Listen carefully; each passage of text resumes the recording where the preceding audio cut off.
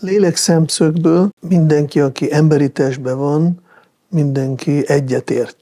Nem, hogy többet ér valaki, aki mondjuk rendelkezik bankszámlával, vagy valaki, aki nem rendelkezik bankszámlával, mert emberi test egy nagyon fontos lehetőséget ad ez fejlődni.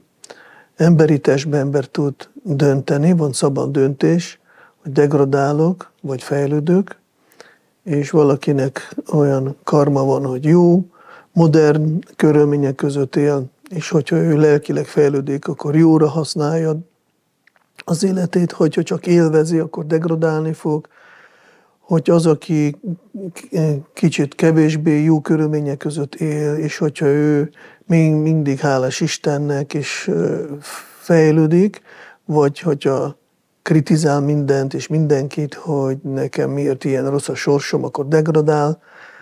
Szóval itt az a fontos, hogy lelki szemszögből mindenki egyenlő, és mindenkinek van szabad akarat, lehetőség dönteni.